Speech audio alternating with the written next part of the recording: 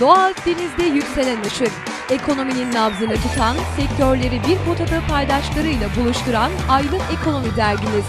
Her ay farklı bir sektörü okurları ile buluşturuyor. Sektörel,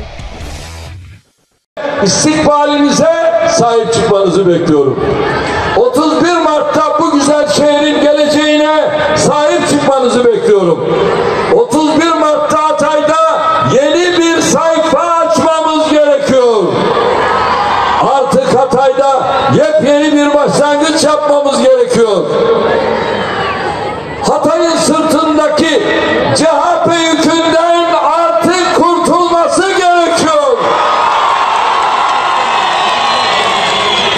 bu güzel şehri beceriksiz, çapsız, vizyonsuz belediyecilik yerine yıllardır hasretini çektiği gönül belediyeciliğiyle buluşturmamız lazım.